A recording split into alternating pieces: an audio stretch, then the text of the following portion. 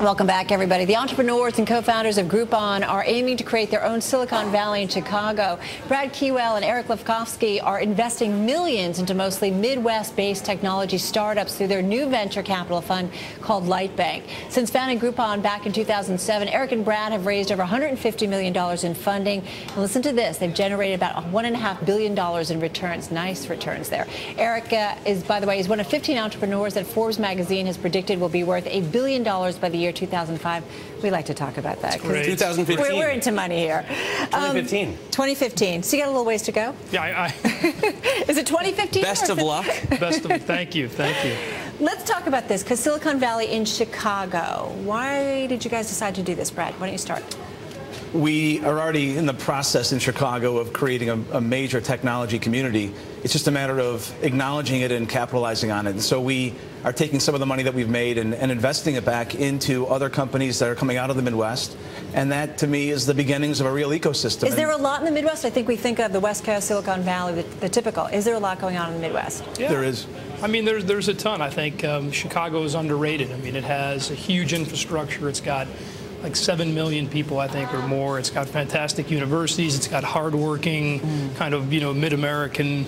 Um, you have all that kind of energy and, and, young people, and it's just got this great ecosystem, but it's been overlooked. I think the two coasts, you know, being in New York, right, this is uh, one of them, these two coasts are very powerful, and I think money has historically migrated to the coast, but now all of a sudden people are looking at Chicago saying, there's amazingly talented entrepreneurial people, and it's a great city, and, and, there's no reason that we can't build great technology companies here. How did you guys, uh, you know, come up with the idea to build a community there? I mean, did you go to Northwestern? Did you grow up in Illinois, or did you just find a, a nice spot? I mean, how did how did it start? Well, we're both from Michigan uh, and moved to Chicago shortly after graduating the University of Michigan. But as Groupon and Echo, Global Logistics, and MediaBank and others of our companies grew, we began to employ enough people that a, a critical mass formed and then the question is, what does it mean? Does it mean that it's a one-off, or does it mean that it's the acknowledgement that we can do something very special, and then others can also, uh, both before, obviously, Netscape and others have started in the Midwest, and there'll be many more.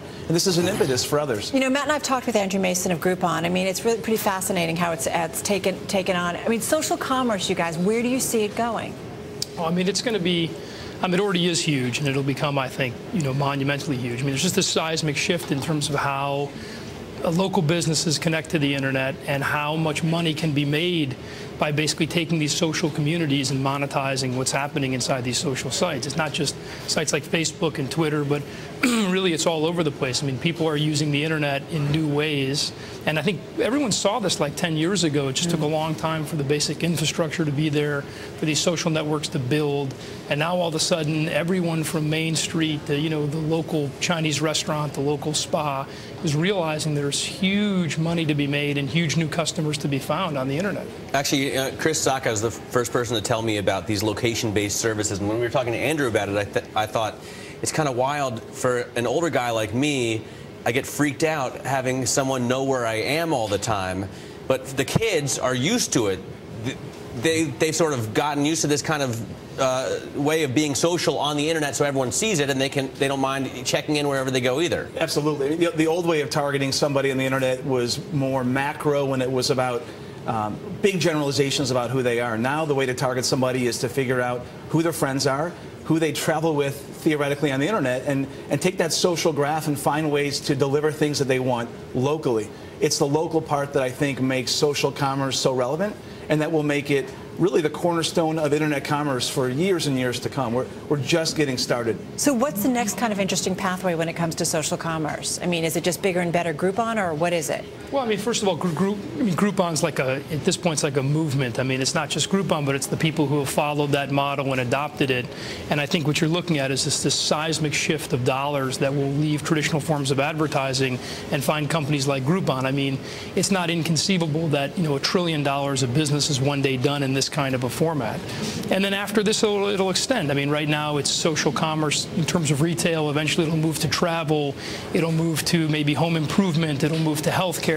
And what you'll find is that these communities that are existing on the web mm -hmm. can be targeted and can form and can aggregate around some idea, and that's the power of Groupon. It's basically the power of people. It's you know you get 100 people together, and you know you can do amazing things. Get a thousand people together, more amazing things. Do you need, by the way, at all uh, any any roots in traditional uh, society? I mean, d- does a store on the internet need a brick and mortar counterpart, or does advertising on the web need to have traditional television or magazine advertising behind it? Well, clearly, if you've got a store in the real world, there's a powerful connection that can be made between that store and your internet world, your internet community. In terms of television and other media types, that's a good question. You know, the internet lets you do things in a targeted way that is absolutely unique against many other mediums. Mm-hmm. And we are part of a, a movement now uh, trying to figure out innovative ways to take advantage of what exists. As, as Eric said, this just didn't exist 10 years ago. Now it finally, the foundation is set. You guys are investing in these companies. Got 20 seconds left. I mean, how you got lots of folks coming to you with ideas, good ideas, yeah. or, or what? I mean, we have. It's you know we've been inundated, right? I mean, we've had we've been fortunate to have a bunch of success in building some of these businesses, and especially in light of Groupon's success, we become a magnet of deals in the Midwest. And what right. we're finding is that there's just incredible quality of deals in the Midwest. Well, come back and talk to us about some of the other deals, yeah, will you? We'd love to. Great, Brad, thank Eric, thank you so much. We thank appreciate you. it.